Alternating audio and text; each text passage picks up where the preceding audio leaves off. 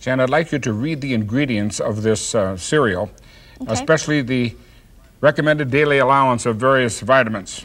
Okay, protein, vitamin A, vitamin C, Mm-hmm. thiamine, riboflavin, Riboflavin, right? Riboflavin. niacin, calcium, iron. Uh-uh, stop right there. Iron.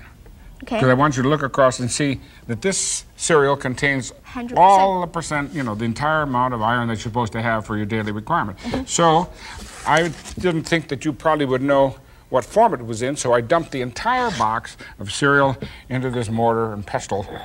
You know what this is for. Yeah, you chemists use it to Yeah, and they grind it up to make it real fine, okay? Right. That's what I did with the cereal, and here it is.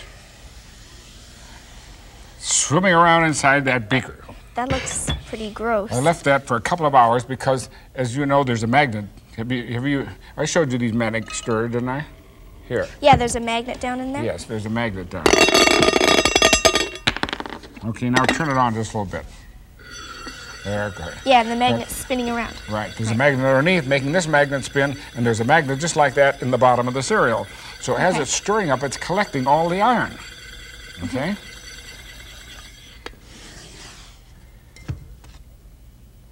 Here is another magnet at the end of a sort of stick. Would you put it in here until you sort of feel a click, and then you'll pick up the magnet that's collected the iron. There, I think I got it. Think you got it? Yep. Ooh, that's all in the cereal? Yes.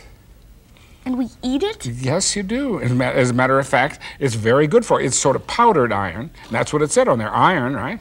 Iron is, a, is an element. And that's the form it has to be in if it says iron. As a matter of fact, when, it's, when you digest it, it's broken down and absorbed by your body, and it's very important. You, don't you know? Well, it's the important ingredient in the hemoglobin of your blood. It captures the oxygen when you breathe in and sends the, and then supplies the oxygen to all parts of your bodies. So it's very important that you get a good supply of iron, and that's the form that it is in cereal.